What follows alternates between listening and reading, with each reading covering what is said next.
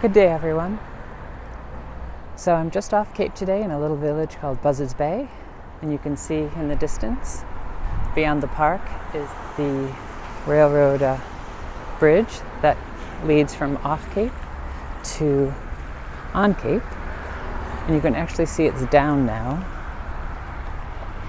And that's because the train is going off and on. And if you can see that sort of curved area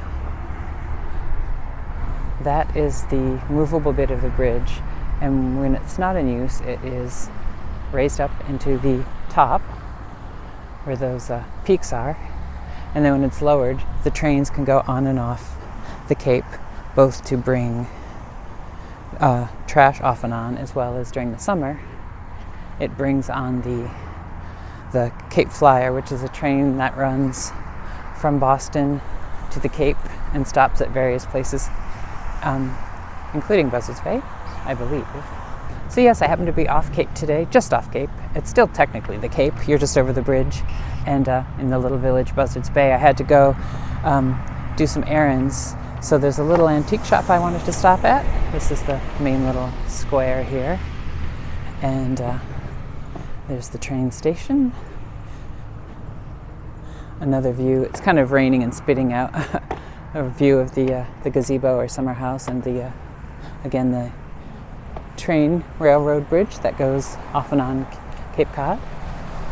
And then we're going to head across the street here to this little shop, Buzzard Bay Antiques. So we'll see what we can find today.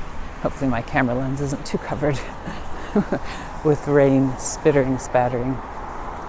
Another view of the train station with the red tiled roof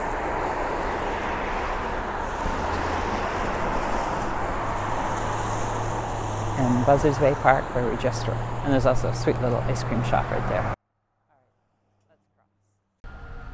And here we are coming up to the Buzzards Bay Antique Center. And there's some lovely cranberry glass, the red sandwich glass in the window.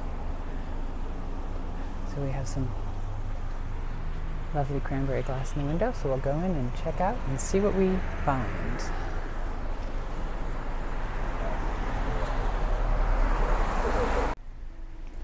You can see it's a quite quite full. Lots and lots of treasures. There's no way I'll be able to share everything in one visit but I will still share you some things. I love that old mantle there. I think it's just display though. This area of the shop has some darling little uh, blue and white dishes and things and uh, has very various sort of Cape Cod things old ship's lanterns ship models I actually think this is kind of cute, this little needlepoint of the old gentleman with the pipe. Um, but again, I consider this probably more of a more of a thrift shop than necessarily an antique shop, because sometimes uh, this is kind of cute in blue and white little pots. Sometimes um, you find a little antique treasure. This is kind of uh, pretty. This blue and white platter. We can never have enough blue and white things. It looks like Staffordshire. It's kind of pretty see. Oh yeah, Royal Mail Staffordshire. That's kind of pretty. That's a possibility. Um, I haven't a lot of time today, so this probably will be a rather short little antique visit. And also, the gentleman who's uh, running the shop actually needs to close up soon. Um, but there's some pretty blue and white jugs. But yeah, I'll just share what little bits I can find here, and we will definitely come back here. These are really pretty. I actually have, I don't remember if it's this pattern I got.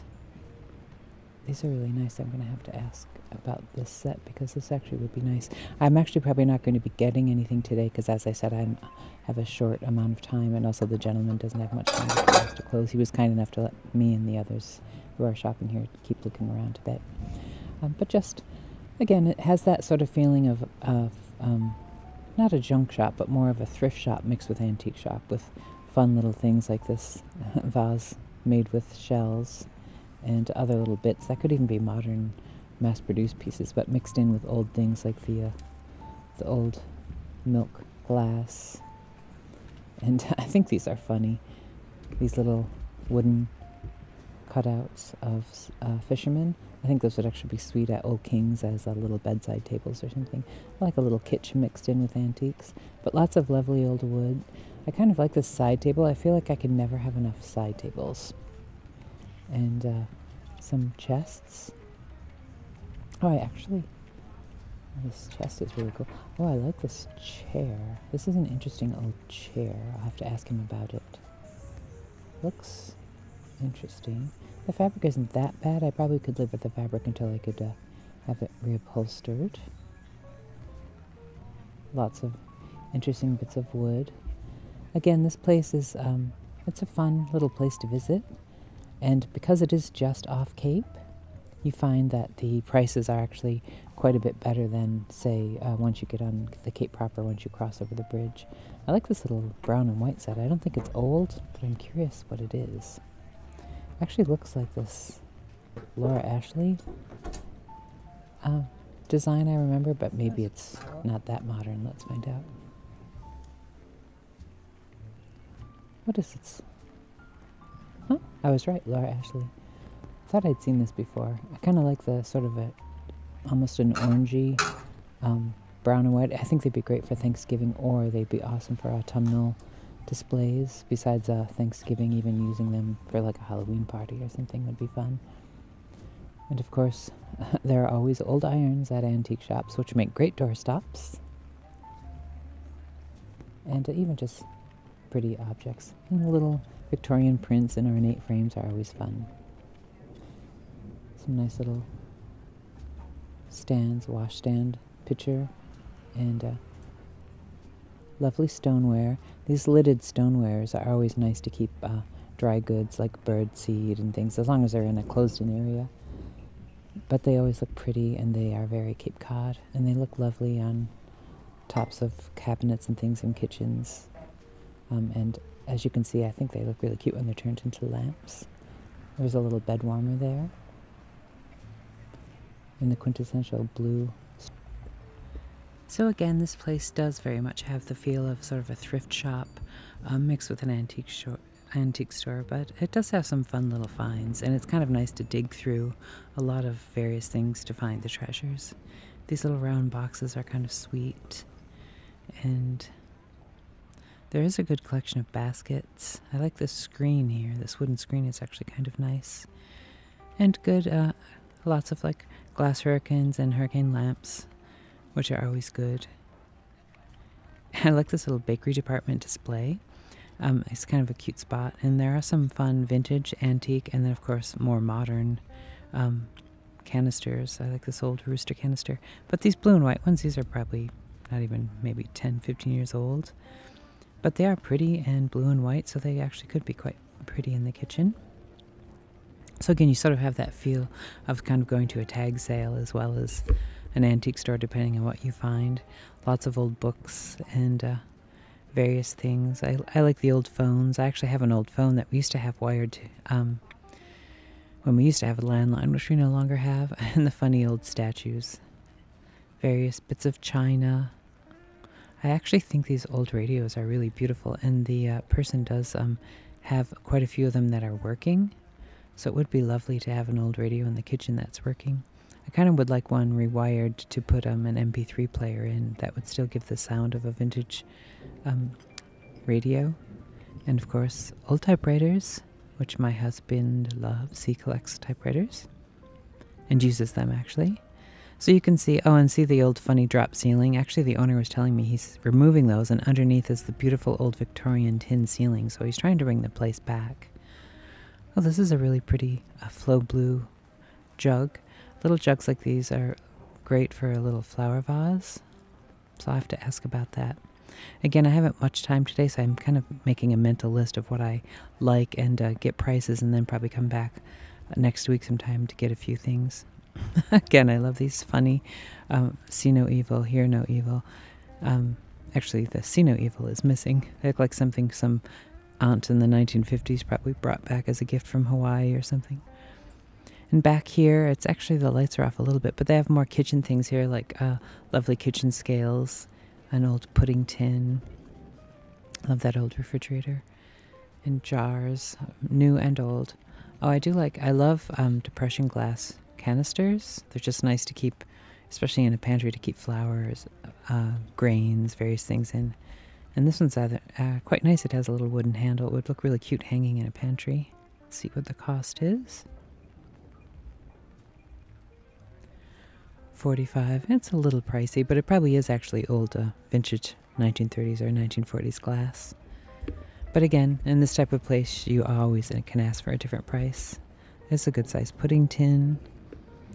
Now, I really, really do love vintage refrigerators, and I actually find they work quite well. This one's probably 1930s. I love these 1930s ones where they have the motor on the top. Um, and in fact, in uh, Old Kings, my um, antique cottage on uh, just near Sandwiches, um, has an old 50s 1951 refrigerator that we still use as the main refrigerator in that house. So I love this um, old bench. It's probably about six feet long. And actually, I shut the camera off for a second. I was asking the gentleman who runs the place, and he said it actually came out of the um, the Masonic Lodge in Sandwich. So I would love to consider it and maybe put it in the house in Sandwich. Now, this area used to have more vintage clothing, but now it's just sort of a rummage sale. But I do like the old, uh, old fruit crates, the wooden crates, which are great for storage or for hanging on the wall in the studio to keep um, paints and things organized. But you can see again, it has that rummage sale, tag sale feel with old um, albums and various detritus piled around. But you can always find little treasures. A sweet little piano chair and little tables like this little thing, which actually looks like a little tobacco shelf. It's really sweet. Here you can see out towards the front and a mixture of vintage, modern, and probably Victorian shelves, which are always good for hanging and storing things on.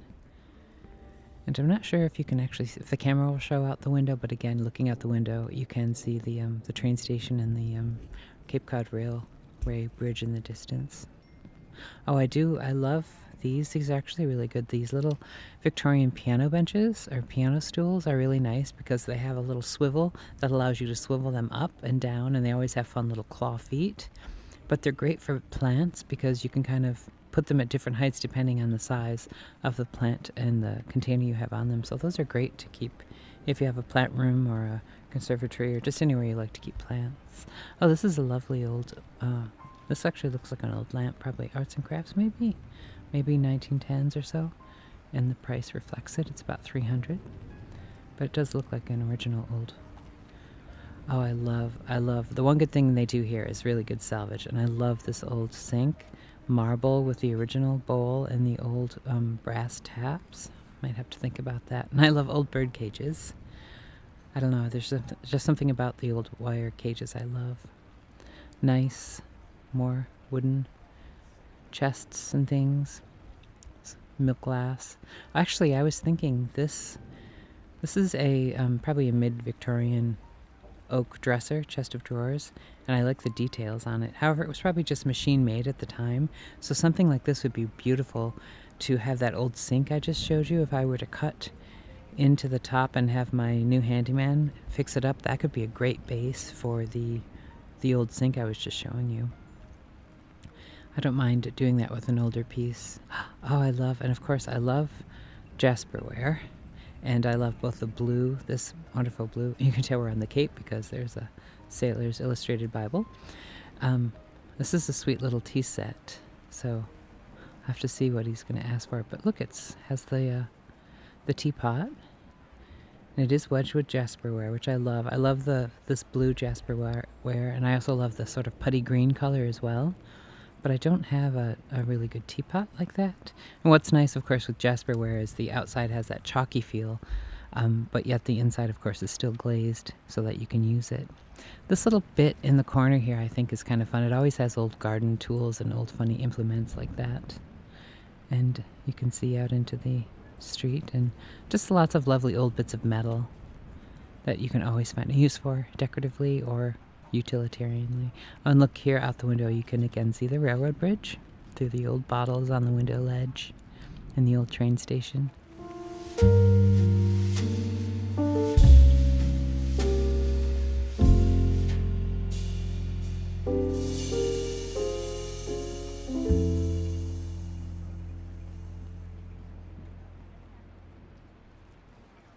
Well, thank you for joining me for today's vlog and uh, this quick little visit. It was just a quick run to the antique shop, but I do hope and plan on doing more antique visits soon and through the summer. So uh, thank you for joining me for this week. And uh, now home again, home again, jiggity jig, and I'll see you next vlog.